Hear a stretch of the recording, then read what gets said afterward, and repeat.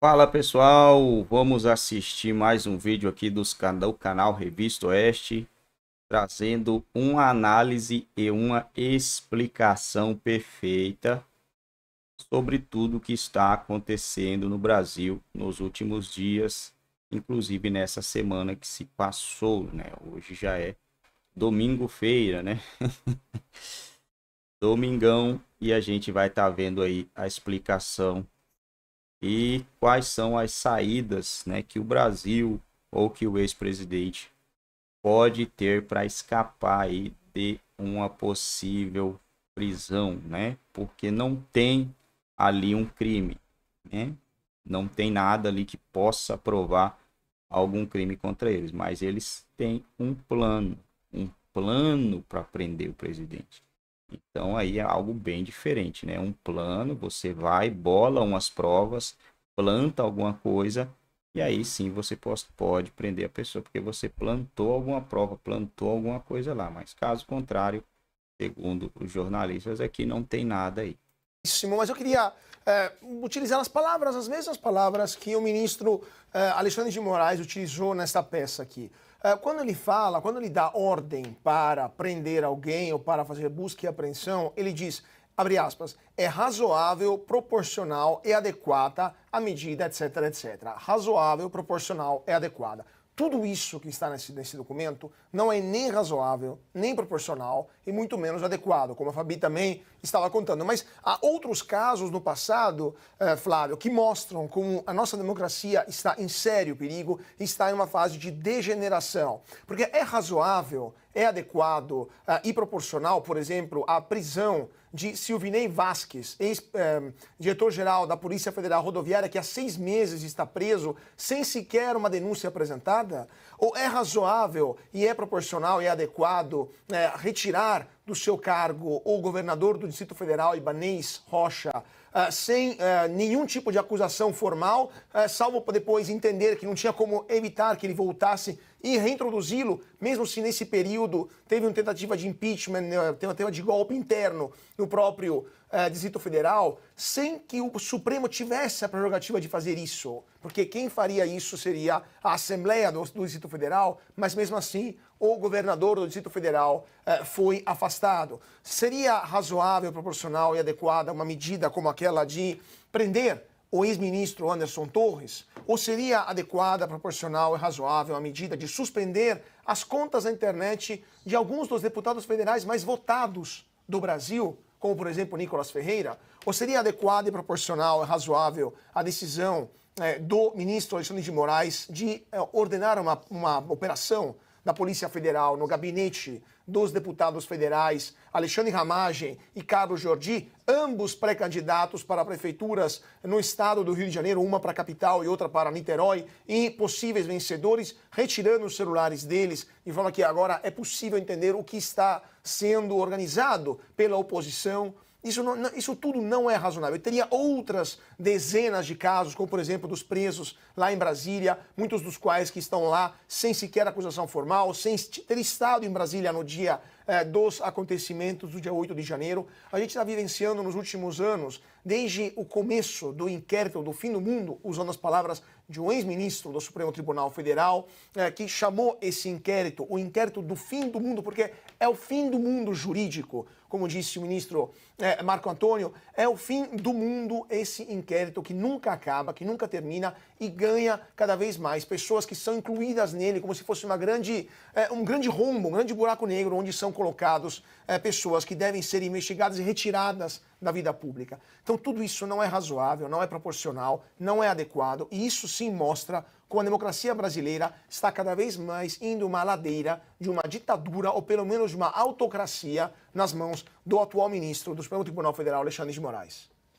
Pois é, e antes de chamarmos a capa, que já está aqui no forno, está tá, tá saindo do forno, eu quero só passar aqui para a Fabi, porque acaba, acabamos de ter aqui no, no notícias já, já importantes, né, Fabi? Ou seja, enquanto que a gente está no ar aqui agora, a gente não consegue ter calma no, apresentando um programa 9 horas da noite. Ninguém Fabi. pode dormir. Não, não dá, não dá. Se dormir, sei lá onde vai parar. Você quer que eu já fale? Pode, Olha, vai, vai Por falta de um absurdo, eu tenho três. Eu, eu pedi para o Gadelha colocar aí Sabe cornflakes? Sabe sucrilho, gente? Se tiver uma na sua casa, cuidado, minha senhora. Porque se for de ouro, mostra aí a, a foto que o Fábio Van Garten colocou, Gadelha, pra gente comentar. Que é da Pepita. Não, não. Vamos pro Nicolas primeiro, Tá que bom. você. Então, primeiro eu vou falar. Ó, Tem temos primeiro um- do Nicolas. que o Agora, Ni- é, agora, ó. o Nicolas Ferreira. Breaking news. supostamente a PF, olha lá, pede né, inquérito contra Nicolas por chamar Lula de ladrão. O PF, só para te falar, lá para 2015, sei lá, por aí, tinha uma paulista inteira que chamava Lula ladrão, seu lugar é na prisão, né? Não sei como é que vai ficar esse negócio aí. Vocês fizeram, fizeram o revisionismo, tá certo, né? O enquadramento tá errado. Porque ladrão ele não é, né? Seria corruptor e lavador de dinheiro, mas tudo bem. É, Nicolas teria declarado que Lula é ladrão, que deveria estar na prisão durante um discurso em evento na ONU em novembro de 2023. Texto de quem ali, né? Ah, do Carlo que Cauti, exibido! do Carlo que Cauti. exibido! Escrevi agora, ao vivo e a cores. Um absurdo como esse merece ser noticiado na hora, né? Breaking news. Mas, Fabi, é você que é jurista. Parlamentares são invioláveis. Exatamente. E as prerrogativas? E a Constituição, que diz que qualquer palavra, Quaisquer. qual- quaisquer palavra, né, vê, que E foi votos. e votos de parlamentares está protegida pela imunidade parlamentar. Cadê, cadê a Constituição, Fabi? Vindo de uma corte constitucional, por sinal, aliás, o Ministério da Justiça, erro meu. É, é que assim, eu acho- também acho interessante, bem observado, não tem essa explicação, tá? Não tem, porque eu não vou inventar, mas o pessoal aí que fez isso, que invente a explicação que dê para crer. Mas assim, também, a PF pede, ou pediram para a PF, PF pede, assim, como assim, gente? A PF pertence a quem? Ou é, não é que a PF. Cadê aquele negócio de, de- causa, de né? Lembra? independência né, da Polícia Federal? Ô, amiguinhos, tá na cara o que tá rolando no Brasil, né? Não sei, eu tenho medo de falar. Vai que, né, agentes da Polícia Federal. Mas, mas eu vou emendar agentes da Polícia Federal, porque a gente nunca sabe. Eu, só que se vier em casa ou na casa de alguém, eu não vou dizer que os senhores foram gentis, porque é mais que obrigação ser gentil, tá bom? Mas passando isso, eu quero falar sobre a Pepita. A Pepita, Eu tá. quero falar sobre isso, gente. Que história é essa? Fa ó, famoso cornflakes, for de ouro, minha senhora. Já estão falando que foi feito a perita. Põe aí, Gadelha. Olha lá o tamanho da pepita. Gente, esse Brasil não é para amadores. Eu tive que dar um zoom aí na foto para entender que aquilo ali é uma escala né, de medida, acredito que da Polícia Federal, essa que tem independência, para dizer aí, e realmente, né, eles têm que fazer o cálculo do valor, e aí já os peritos que falaram que veio de um garimpo disseram que 85% só é ouro. Então tem que melhorar essa conta aí, viu, Fábio? É 85% desse valor, porque o restante não seria ouro. Gente, isso é uma piada. E junto com isso tem uma terceira piada que foi noticiado pela Globo, que eu também pedi para o Gadelha colocar, gente, porque parece mentira, mas não é, parece meme. Coloca a Gadelha, por favor, do Globo. Moraes mantém vídeo de reunião não vou falar golpista, porque né, o que está descrito nos autos que eu li não tem nada de golpe, ele está falando do próprio exército, que seriam os ministros dele, em sigilo. Será que ele vai ficar abraçadinho com o vídeo de Roma? Acho que os dois estão lá falando, nossa, nós estamos tão escondidinhos aqui. Gente, tem que brincar, mas vocês têm noção que o que está movendo uma ação da PF junto com o PGR, que foi mais de 40 pessoas com mandado de busca e apreensão, quatro pessoas detidas, a quinta, que é o Valdemar, que espero que esteja na cela, pelo menos que o Lula ficou, que tem frigobar e, e, e, e esteirinha para fazer exercício, né? A gente, como, como, como pôr em sigilo? Como que você vai contestar? E a gente já sabe que os advogados não vão ter acesso, né? Então é assim, o país da exceção, porque sigilo é exceção, virou regra. Aí como que você faz? Não faz, né? A gente fica vendo tudo isso implodir. Agora eu só queria fazer uma observação. Só tem um responsável pela Constituição que faz o controle de constitucionalidade do STF. Esse responsável é o Senado. Como o Rodrigo Pacheco hoje lulo, lulolizou de vez, né? ele fez, nossa, várias declarações para quem não acompanhou, porque não deu, né? Então a gente tem que apelar e falar, senadores, pelo amor de Deus, façam qualquer coisa, porque são vocês. Não adianta dizer, olha, isso é ilegal. Não, gente, faça o que está na Constituição Federal, pelo amor de Deus. Né? O controle de constituinte tem que ser feito, exercido. É, vamos comparar então essa pepita, né, que vale 12 mil reais. Com cornflakes. Cornflakes. Não, vamos comparar, vamos tentar lembrar do Gedel Vieira. Lembra? 51 milhões que foram encontrados na casa dele, né? E agora como dinheiro do Odebrecht. É, o dinheiro, na verdade, não é só do Odebrecht, né? De, da, da JBS, de todas elas estão, está sendo de- devolvido. O Silvio aqui perguntou não sei quantas vezes, né? Já que ele foi lá e falou assim, ah, mas esse dinheiro não era meu. Foi a, a desculpa dele na hora. Ele deve estar extremamente arrependido, porque ele deveria ter dito, é claro que é meu, pelo amor de Deus, ninguém encosta nesse dinheiro, porque agora teria sido tudo devolvido para ele, né? 51 milhões, agora são todos inocentados. Agora, uma pepita ou um papel que ninguém viu, dizendo, né, ora, é, é, vou decretar estado de sítio, que é uma coisa constitucional que, que exigiria o Congresso, né? Ou então, pior ainda, como foi no caso do Anderson Torres, receber um e-mail, que até a Fabi falou, né, tava no Conjura até, aí, ele recebe um e-mail, e aí, agora, desde aquela hora, fala-se o tempo todo a respeito de minuta de golpe. Também tivemos outro caso é, que, que se liga a, a- a toda essa, essa teia que o senhor Alexandre de Moraes está tentando fazer, né? É, o senhor Alexandre Ramagem, ele foi lá e imprimiu um currículo, ou seja, uma coisa pública. Isso aí foi chamado de espionagem, de bisbilhotagem, etc. É, todo o sistema né, do, do que foi chamado de a BIM paralela, e a mídia não para de repetir esse termo, né, que é para ficar assim bem na sua cabeça. Tem um cara que, que ele teorizou sobre isso, Joseph Goebbels, né, era o nome dele, que ele falou assim, se você ficar repetindo bastante, é, fica... Né, de onde que ele era mesmo, você lembra, Kaut? Deutschland. Ah, Deutschland, da Alemanha nazista, né, do terceiro Dritter Reich, né. É, ele era o ministro do... do Socialismo. É, do Dos nacio- trabalhadores nacionalismo. Foi esse Exatamente. que cantaram o hino recentemente? Não, Não. aquela foi internacional social. Socialista. É, foi a socialista. Mas pode, né? Ali pode. Aí tá né? Ela matou mais, mas ela tá valendo ali, Glaze Hoffman cantando, né? O Geraldo Alckmin lá meio, meio tenso ali do lado ouvindo. Mas aí você vê, né? Ele, ele imprimiu um currículo público, isso aí é, foi chamado de bisbilhotagem. O serviço que foi chamado né, de ABIM paralela significava um serviço de geolocalização. Está sendo chamado de bisbilhotagem, está sendo chamado de todas as coisas horríveis para cima e para baixo. Sendo que nesta operação, em relação, por exemplo, ao Felipe Martins, falaram que foi o serviço de geolocalização, ou seja, estava espionando, bisbilhotando com uma, um, um STF, ou seja, uma Polícia Federal paralela ali, ilegal. Agora, cadê todo mundo gritando que isso aí é ilegal, que isso aí de- deveria anular todas as provas? Ah, bisbilhotando os, os trajetos de Uber. Ah, ele foi cinco vezes para o mesmo lugar. Oh, meu Deus do céu, isso é um crime contra a democracia. Onde já se viu você cinco vezes para o mesmo lo- local de Uber? Certamente você é um nazista, então, mano. Isso é que está sendo chamado de democracia no Brasil. Agora eu quero chamar a capa, nossa capa aqui está pronta, é, que ela fala a respeito de um outro tema que também não está tão eh, diverso. A gente está tá vendo né, que tudo se liga no, no Brasil. Olha aí, ó. Capa da Oeste, para você que vai, vai se tornar assinante da revista Oeste, a gente sabe logo mais, tá?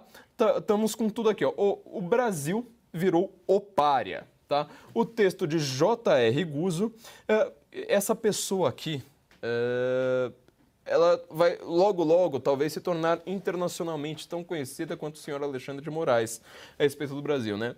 O J.R. Guzzo, ele escreveu, graças a Dias Toffoli e outros ministros do STF, o país foi colocado entre os lugares sem lei. Lembra que o Piotr falou aqui agora há pouco, né, sobre insegurança jurídica, ou seja, não tem lei tem vontade de pessoas poderosas.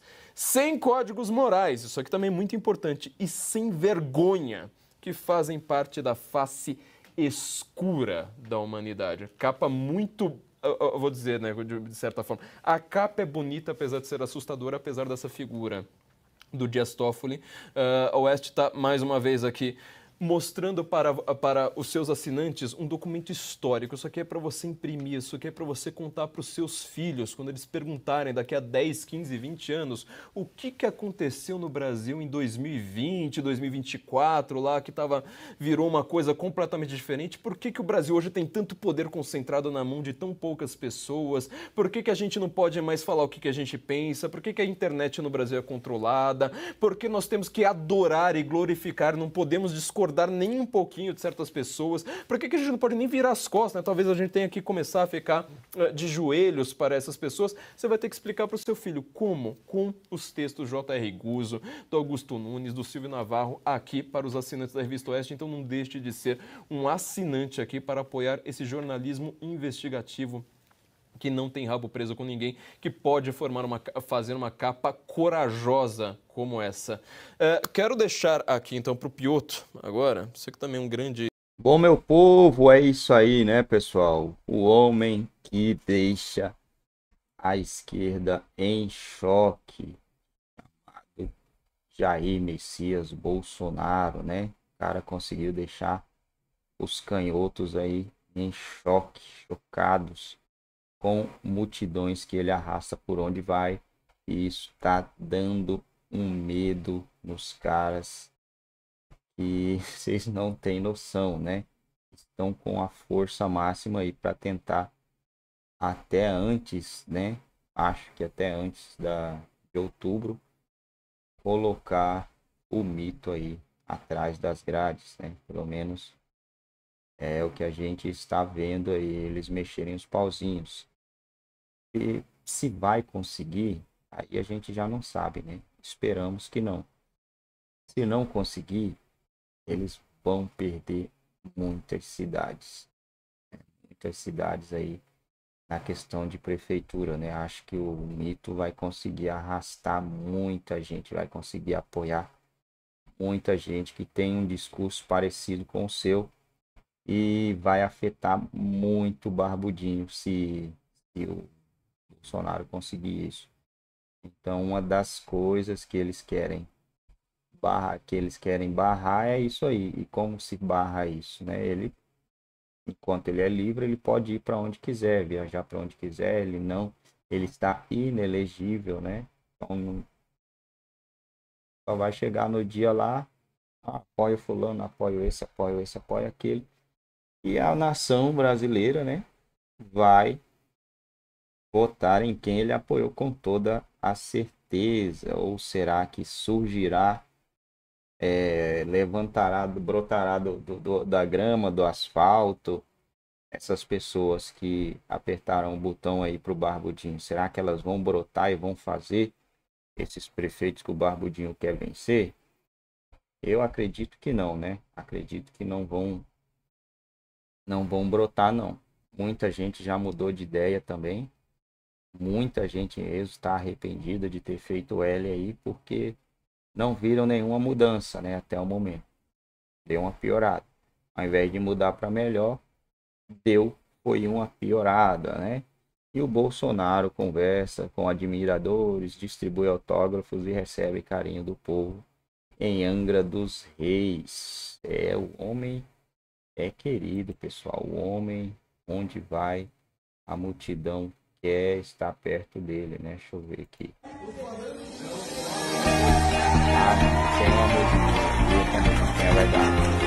Não vai dar para pôr o vídeo não, porque tem uma musiquinha aí, pessoal, e essa musiquinha vai vai dar zebra aí para nós.